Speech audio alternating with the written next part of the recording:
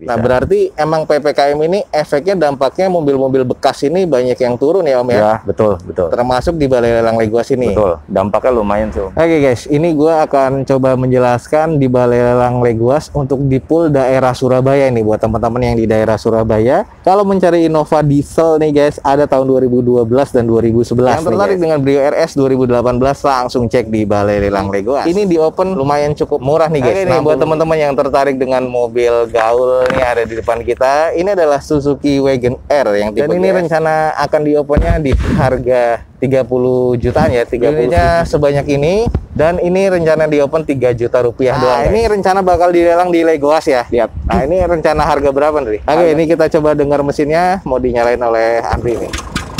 Nah, masih oke okay ya.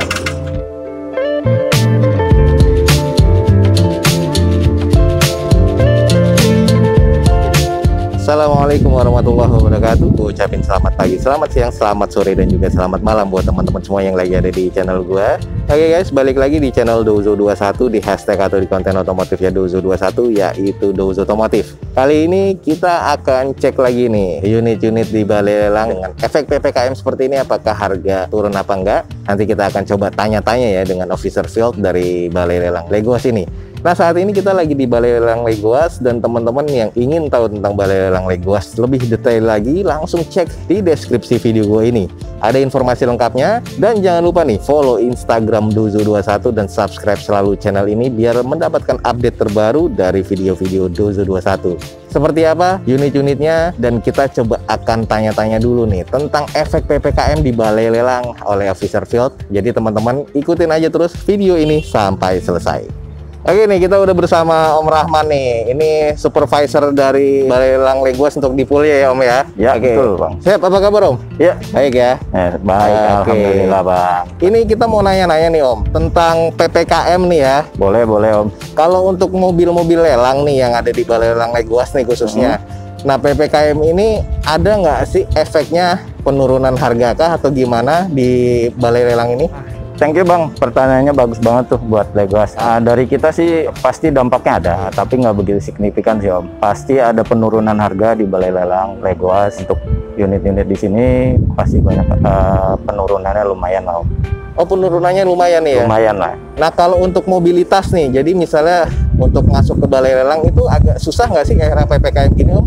Uh, paling kita jalurnya sih ambilnya arahnya nggak jalur-jalur kota sih om jalur ya. ya kita lewat belakang lah tapi berarti masih bisa untuk mobilitas untuk dari vendor ke balai lelang di sini ya ya masih bisa, masih bisa. nah berarti emang PPKM ini efeknya dampaknya mobil-mobil bekas ini banyak yang turun ya om ya ya betul betul termasuk di balai lelang Leguas ini betul dampaknya lumayan sih om dan ini kira-kira akan berlangsung mingguan atau sampai bulan-bulan berikutnya nih om dampaknya sih saya belum begitu ini sih ya om ya nah, nah. karena kita kan mengikuti anjuran pemerintah juga. Jadi ada perpanjangan kita kan nggak tahu juga. Berarti tinggal nunggu dari pemerintah seperti betul. apanya, balai lelang atau yang lainnya pun tinggal mengikuti ya. Iya betul. Kita okay. menyesuaikan aja bang. Oke, okay, Om Rahman, makasih banget nih atas. Okay. Jadi nanti kalau ada apa-apa kita bisa tanya-tanya lagi Om ya. ya. Boleh boleh. Oke, okay, thank you Om. Thank you Om. Oke okay guys, di lelang Leguas nih waktu itu sudah dilelang motor-motor Evo 2014 seperti ini nih dengan harga cuma 3 juta rupiah. Dan ini motor-motornya sudah sold ya. Jadi gua akan sebutkan harga terendahnya itu sekitar 3 juta 500 terbentuk ya. Dan harga tertingginya itu hampir mencapai 5 juta nih guys. Jadi ini adalah motor-motor rawatan sebenarnya yang agak kurang emang di bagian eksteriornya. Tapi ini motor harga di open cuma 3 juta rupiah. Tadi gue sudah sebutkan harga terbentuknya. Jadi kalau teman-teman teman-teman tertarik lagi, tunggu di Balai Lelang Legoas akan ada motor seperti ini lagi nih guys. Nah, lanjut juga nih guys. Ini adalah motor langka yang dilelang di Balai Lelang Legoas dan akhirnya sold out ya. Kemarin ada sisa 6, sisa 2 yang ada di sini dan ini sudah sold karena ini belum diambil oleh pemenang lelangnya. Ini di open di harga 25 juta rupiah dan rata-rata ini soldnya di harga 30 juta sampai 36 juta rupiah nih guys. Yang ada di sini nih yang di depan kita sold di 36 juta rupiah.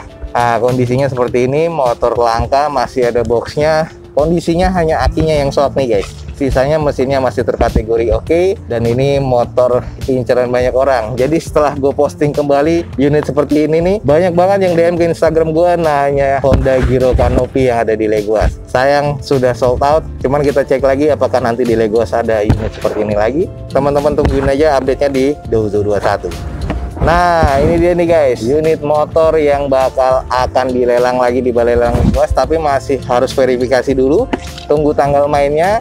Honda Revo Fit ya guys ya tahun 2014 dengan kondisinya eksteriornya memang ada beberapa yang kurang tapi mesinnya masih termasuk mesin rawatan nih guys unitnya sebanyak ini dan ini rencana di open 3 juta rupiah doang guys nah di barisan sebelah sini ini sudah nggak ada boxnya jadi teman-teman udah tinggal pilih nih. Yang di bagian belakangnya masih ada box. Nah jadi kalau ada boxnya boxnya kan harus dilepas. Ya joknya ini harus diganti dengan jok seperti ini nih. Ya modalnya sih sekitar 300 ribu. Tapi katanya sih box-box kayak gini nih dijual lakunya bisa 500 ribu. Cuman nggak tahu ya teman-teman nanti cek aja langsung. Unitnya ini masih ada di Balai Lelang Leguas baru banget sampai nih guys. Dengan kondisinya masih serba cukup sih kalau menurut gue untuk mesin. Di bagian eksteriornya teman-teman teman-teman harus cek kembali ya motor 3 jutaan bakal ada lagi di balai lelang Leguas tungguin aja guys Nah ini juga mobil yang masih akan diverifikasi. Salah satunya ini nih, kalau memang nyari blind fan, masih sisa satu nih. Nah di depan kita ini ada Daihatsu Grand Max Blind Fan 2012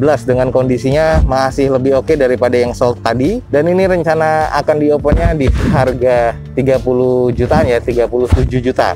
Jadi teman-teman pastikan aja cek aplikasinya di Balai Lelang Leguas untuk download aplikasinya di App Store atau di Play Store biar mendapatkan update terbaru dari Leguas. Nah ini di depan kita juga ada pick up carry ini guys tahun 2020 dan ini ada beberapa baratan-baratan kasar di bagian sisi sebelah kirinya dan di baknya sih masih terkategori cukup jadi masih bisa langsung beroperasional untuk di bagian eksterior sih masih cukup lah kalau menurut gua. Interior masih oke okay, dan mesin masih terkategori cukup. Nah ini rencana ajuan dari Balai Lelang Leguas sekitar 75 juta rupiah. Masih cukup worth it sih. Tapi untuk ajuan di 75 jutaan dari Balai Lelang Leguas. Makanya buat teman-teman yang tertarik update terus di aplikasinya Leguas atau langsung update di YouTube-nya 2021. Nah ini lanjut ada Sigra guys. Ini datanya belum masuk di gua. Nah ini adalah tipe M guys. Velgnya juga masih velg kaleng ya. Dengan ditutup dop Daihatsu seperti itu Belum ada fog lampnya. Tapi kondisinya masih oke okay banget nih guys. Masih cukup shiny Masih bening sih kalau menurut gua.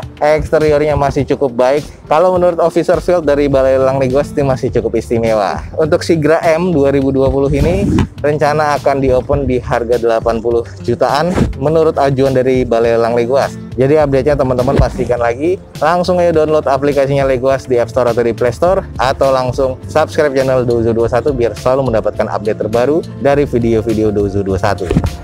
Oke okay guys, ini gue akan coba menjelaskan di Balai Lelang Leguas untuk di pool daerah Surabaya ini buat teman-teman yang di daerah Surabaya. Kalau mencari Innova Diesel nih guys, ada tahun 2012 dan 2011 nih guys. Nah seperti ini ya unitnya. Ini adalah Innova Diesel tipe E Nah ini tahun 2012 dengan odometer di 83 ribuan. BPKB-nya ready nih guys. Pajaknya sampai bulan 8 2021 nanti. Gua akan jelasin kondisinya. Aki yang pasti soak, plafon kotor, karpet dasar sobek. Interiornya ini juga agak kotor ya karena ini mobil bekas operasional. Headlamp kusam, all body baret halus. Tapi dengan kondisi mesin masih cukup layak pakai guys. Nah ini yang untuk 2012 di open di harga 125 juta rupiah. Kondisinya seperti yang tadi teman-teman sudah lihat lihat. Nah, kalau memang teman-teman tertarik, langsung hubungi Balai Lelang Leguas karena unitnya ini ada di Surabaya.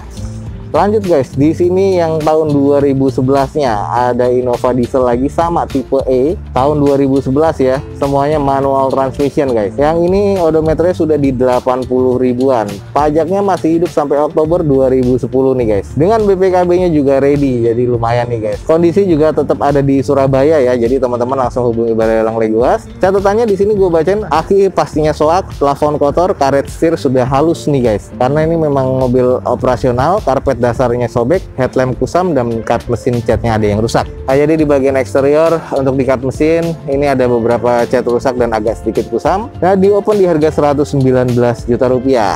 Nah buat teman-teman nih yang nyari Innova diesel lah khususnya di daerah Jawa Timur atau Surabaya ada 2011 dan 2012. Innova diesel tipe E 2011 dan 2012 manual transmission. 2011-nya di open di 119 juta rupiah dan juga untuk 2012 di open di 125 juta rupiah. Buat teman-teman yang tertarik, buruan langsung cek di Balai Lelang Leguas. Langsung kita ke depan kita nih ada Honda Brio RS nih guys. Nah ini juga sering dicari banyak orang ya. Tahun 2018 automatic transmission. Odometernya di 62 ribuan. Ini masih grade B ya menurut inspeksi dari Balai Lelang Legoas. Nah ini catatannya di sini, sarung joknya kotor, joknya ini nggak ada ya untuk di bagian ban. Mika lampunya ini ada yang berbeda warna karena yang satu dengan pakai stiker atau kaca film nih katanya. Di open di harga 123 juta rupiah. Nah kita langsung coba cek sedikit fisiknya seperti apa. Brio ya RS tahun 2018.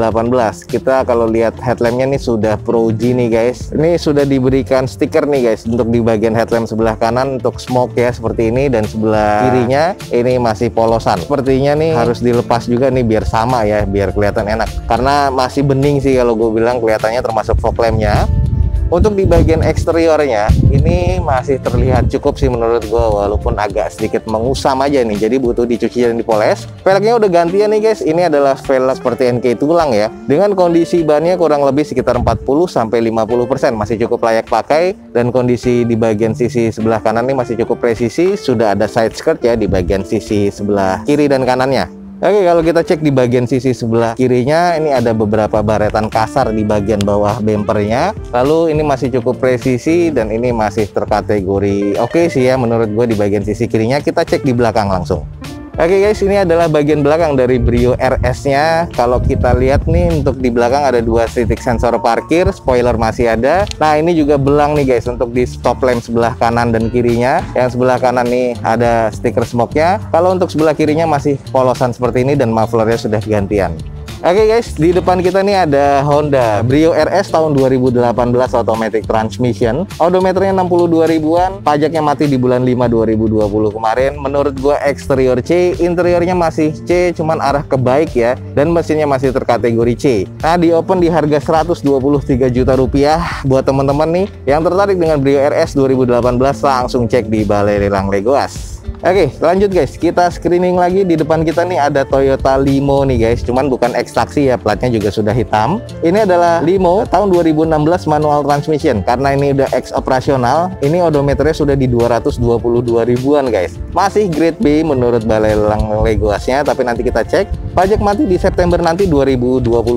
Catatannya di sini aki soak ya, terus karet setir sudah halus. Jadi memang untuk di bagian interior karet setir wajar karena odometernya sudah di 200 ribu lebih Kap mesinnya ada cat yang rusak, terus untuk di cat belakang nih ada yang pecah, molding rainnya juga ada yang rusak, AC-nya kurang dingin. Nah ini di open di harga 65 juta rupiah, 2016 guys. Jadi ini masih termasuk harga di bawah pasar kalau menurut gue untuk limo. Kita langsung cek sedikit fisiknya. Kalau untuk di bagian eksterior, kita cek di bagian headlampnya memang sudah mengusam, tapi ini masih bisa sedikit diservis, jadi masih bisa bening lagi. Fog lamp masih belum ada ya guys untuk di limo ini. Velg sudah gantian nih, dibikin velg alloy seperti ini dengan kondisi ban masih cukup layak pakai guys 50 sampai 60 persen nih untuk di bagian sisi sebelah kirinya terbilang masih cukup presisi di depannya hanya saja di bagian quarter dan bumper belakang ini ada yang renggang bagian clampnya jadi harus dicek lagi guys ada patah atau enggak Nah kita cek di bagian sisi sebelah kanan dari depan ini masih cukup presisi dan sayang banget nih untuk di bagian sisi pintunya panel sebelah kanannya catnya nih agak rusak ya guys. Saya harus dibereskan lagi kayaknya bekas stiker dan kondisinya udah sangat-sangat musam. Coba kita langsung cek ke belakangnya Oke hey guys, ini adalah di bagian belakang dari limo, belum ada sensor parkir, reflektor masih oke. Okay. Nah, di bagian list dari bagasi diberikan ornamen stiker nih guys. Cuman udah agak sedikit rusak. Stop lamp di bagian sebelah kanan nih sudah retak dan sudah kemasukan air nih, jadi harus diganti nih guys. Sisanya nih masih terkategori cukup sih menurut gua.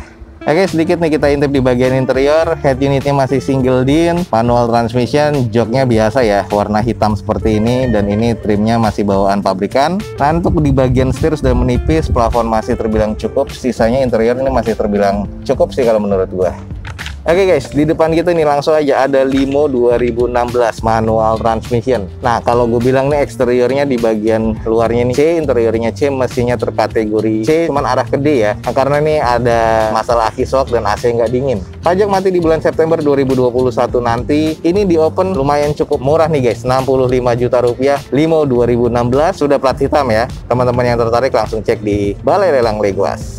Oke guys, lanjut di depan kita nih ada mobil favorit juga nih. Ini adalah Toyota Calya 1200 cc tipe G 2019 nih guys. Odometer masih di 25 ribuan, pajak mati di bulan 7 2020 kemarin. Catatan di sini plafon kotor, sarung jok sobek, ban serepnya nggak ada. All velgnya di sini sudah dioplos dengan velg kaleng dan ini di open di harga 95 juta rupiah. Langsung aja coba kita cek secara fisiknya.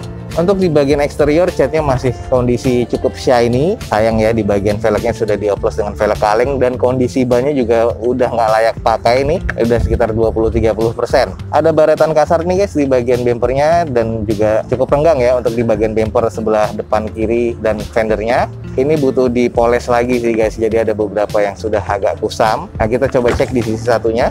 Untuk di bagian sisi sebelah kanannya, bempernya juga ada beberapa baretan kasar dan cat yang lupas, tapi masih cukup presisi ya. Ini masih terbilang cukup oke. Okay. Hanya saja nih ya bagian catnya nih yang ada beberapa baret-baret kasar dan juga butuh di repaint. Kita coba cek di bagian belakang langsung. Oke guys, ini adalah di bagian belakang dari Toyota Calya. Ada beberapa penyok ya di bagian pintu bagasi dan juga bempernya. Ini udah pasti bekas nabrak. Dua titik sensor parkir, top lampnya sih masih terkategori cukup dan ini masih butuh di repair ya untuk di bagian bemper ada baretan kasar dan juga penyok nih. Nah, ini buat teman-teman yang nyari Calya, ada lagi nih satu Calya cuman bukan X dari taksi online. Ini adalah Toyota Calya G 1200 cc 2019 manual transmission. Odometer masih 25 ribuan, hanya saja pajak mati di bulan 7 kemarin 2020. Eksterior menurut gue C, ada beberapa yang harus di repair dan juga dipoles. Interior masih cukup dan mesinnya terkategori C. Dan ini di open di harga 95 juta rupiah. Buat teman-teman yang tertarik langsung cek di Balai Lelang Oke guys, ada mobil compact nih guys. Nah ini, jadi mobilnya udah cukup gaul. Kita langsung coba cek aja dulu. Dan di depan kita ini ada Suzuki Karimun Wagon R yang tipe GS 1000 cc ya guys. Ini tahun 2019. Odometernya 67 ribuan. Pajak mati di bulan 6 kemarin 2020 masih grade B katanya. Cuman kalau kita cek catatan di sini, plafon kotor, ada sarung jok sobek, fog lamp ada yang pecah, velgnya ini udah nggak standar lagi karena ini ring 16 ya. Terus ada beberapa yang gompal dan juga ada beberapa gap yang renggang. Nah, ini kita cek aja dan di open di harga 83.500. Ini adalah Wagon R 2019. Di bagian headlampnya ini masih terkategori cukup, cuman butuh sedikit di servis ya guys. Nah, ini adalah bagian fog lamp yang sudah retak, jadi harus diganti mikanya yang bagian satunya sih masih kondisi cukup oke. Okay. Nah kalau kita lihat nih di bagian dari sisinya aja untuk ground clearance-nya memang sudah terlihat diceperkan ya. Velgnya 16 seperti ini bukan bawaan dari Suzuki tapi doknya masih Suzuki. Dengan kondisi ban ini kurang lebih sekitar 40% lah nih. Jadi masih sedikit cukup layak pakai tapi untuk antara fender dan bannya ini agak mepet banget ya. Spion juga sudah dicat dengan warna hitam seperti itu. Coba kita cek di sisi satunya. Oke di bagian sisi satunya nih masih terbilang juga cukup presisi dan eksterior nih masih terbilang cukup oke ya butuh dicuci poles lagi dan coba kita cek di bagian belakang nih guys. Oke ini adalah di bagian belakang dari Wagon R dan stop lamp masih oke okay, dua titik sensor parkir harus ada yang di repair juga di bagian pintu bagasi karena sudah ada penyok dan cukup mengarat nih guys. Nah sisanya nih masih terkategori cukup. Hanya saja nih mobilnya sudah nggak standar lagi ya untuk ground clearance dan juga velgnya. Oke nih buat teman-teman yang tertarik dengan mobil gaul nih ada di depan kita ini adalah Suzuki Wagon R yang tipe GS 1000 cc 2019 manual transmission. Odometer di 67 ribuan pajak mati di bulan 6 2020 kemarin menurut gue ya eksteriornya agak kurang karena sudah nggak standar ya. Ground clearance-nya sudah cukup rendah velgnya juga sudah gantian semua. Tapi untuk masalah cat masih oke okay. interior masih cukup mesinnya juga masih terkategori cukup. Nah ini di open di 83.500 buat teman-teman yang tertarik nih langsung aja cek nih guys di Balai Lelang Leguas Oke, satu lagi nih guys, ada Brio lagi mobil yang city car compact juga, cuman yang ini bukan RS. Kita langsung cek aja. Di depan kita nih ada Brio tipe E guys, automatic transmission 1200 cc tahun 2017. Odometer masih 30 ribuan. Nah, sayang nih, nota pajaknya atau STNK-nya nggak ada. Dengan catatan kap mesinnya indikasi repair. Jadi pas gue lihat di bagian kap mesin, di bawah apronnya itu ada tulangan dan itu agak sedikit bekas repair ya. Kayaknya bekas nabrak motor di depan dan sudah dibetulkan lagi lagi tapi afron sih masih aman, fender kiri kanan masih aman. Terus untuk di bagian lisplang ini ada yang penyok, untuk di bagian CVR dari spion ini juga ada yang pecah ya nanti akan kita cek. Dan ini di open di harga 93.500. Kita cek langsung fisiknya seperti apa. Nah untuk di bagian eksteriornya ini sudah kalau gue bilang kusam ya, tapi untuk bagian headlamp dan fog lamp masih cukup. Nah ini ada bagian yang harus di repair di bagian bumpernya sudah ada penyok dan juga baretan kasar, sudah tidak terlalu presisi. Nah ini di bagian list plang sebelah kiri nih guys yang sudah baret dan juga sudah cukup mengarat nih guys. Ada baretan dan juga ini adalah list plang yang harus di repair kembali nih guys. Lalu di bagian quarter belakang sebelah kiri nih guys. Ini juga sudah penyok harus di repair lagi. Lanjut kita cek di bagian sisi sebelah kanannya. Sama nih bumpernya ini sudah agak renggang agak kusam juga ya. Lalu nih di bagian sisinya nih masih terkategori cukup sih menurut gue coba kita intip di belakang. Oke guys di bagian belakang ini stop lamp masih oke okay, dua titik sensor parkir. Bagian sebelah kanan nih guys ini ada baretan kasar dan ini harus di repair lagi dan juga sudah cukup kusam. Bagian cat di bumper nih udah agak kusam sih menurut gua. Jadi harus di repaint lagi. Sisanya sih masih terkategori cukup nih guys. Oke ini tadi yang dimasuk catatan ada cangkang spion yang pecah di sebelah kiri. Jadi ini harus diberesin lagi bisa didempul sih tapi bisa juga dicari untuk cangkang spionnya seperti ini Oke ini buat teman-teman yang tertarik dengan Brio tipe E di depan kita nih ada Honda Brio tipe E nih guys automatic transmission tahun 2017 odometernya masih 30 ribuan nih guys cuman hanya saja nota pajak nggak ada ya jadi teman-teman langsung kalkulasi kembali di plat nomornya Eksterior menurut gua sih ada beberapa yang harus di repair, interiornya masih cukup, mesinnya terkategori cukup. Di open di 93.500 nih buat teman-teman yang tertarik. Langsung aja cek di Balai Lelang Legoas. Oke okay guys, ini di depan kita nih ada juga motor yang langka yang akan dilelang. Cuman karena ini motornya langka, kita langsung ngobrol nih sama Officer Field. Dri, ya. Nah ini motor apa nih, Dri? Ini Vespa PBB 1963. Oh, ini Vespa VBB ya? Iya. 63 nih. 63 pak. Nah ini kondisinya gimana untuk eksterior nih, Dri? Eksterior sih warna sih nggak ori ya. Oh, warna, warna? Iya, warnanya harusnya biru. Oh, harusnya dia biru, iya. tapi ini udah dicat dengan Cat. pemiliknya ya? Iya, betul, Pak. Nah, terus apa lagi Nri yang nggak ori lagi Nri? Nggak ori sih dari platnya ya harusnya. Oh, ini dari emblemnya nih harusnya iya. nggak begini ya. Begini, Sama ini ada variasi ya? Iya, ada variasi. Oke, kalau untuk jok gimana Nri? Jok juga variasi ya Pak, cuman dalamannya ori sih. Oh, dalamannya masih ori. ori. Hanya saja ini yang trimnya ini yang ya, diganti ya. Betul. Tapi ini juga harus diganti. Ini sama variasi juga. Variasi ini. juga ya. Nah, kalau untuk belakang nih emang VBB ada ya? Dia nggak nyambung ya? Nggak nyambung.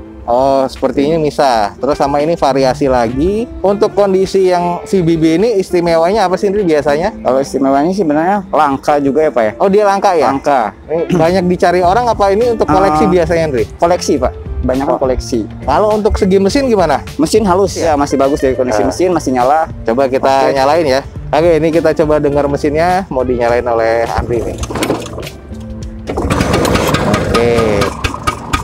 Ini suaranya masih halus. Nah, masih oke okay ya. Dia empat kecepatan. Jadi kalau jalan masih oke okay juga sih. Oke, okay, Kaki-kaki masih lumayan. Masih lumayan ya. Oke. Okay.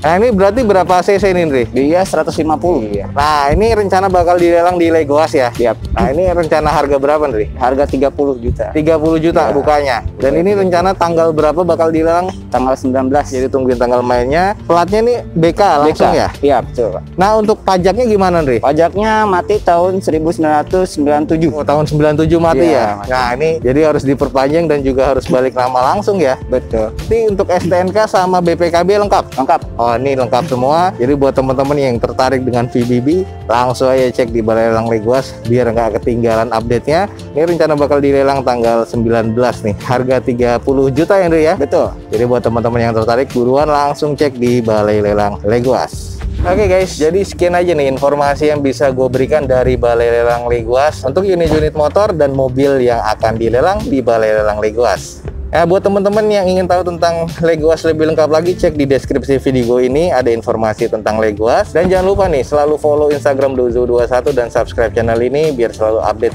terbaru dari Dozo21 teman-teman bisa dapatkan ya. Akhir kata, jangan lupa di like dan di share sebanyak-banyaknya. Support terus video ini dengan cara mensubscribe-nya. Gua Dozo21 signing off, gue ucapin selamat pagi, selamat siang, selamat sore, dan juga selamat malam. Wassalamualaikum warahmatullahi wabarakatuh. See you on my next video. Bye.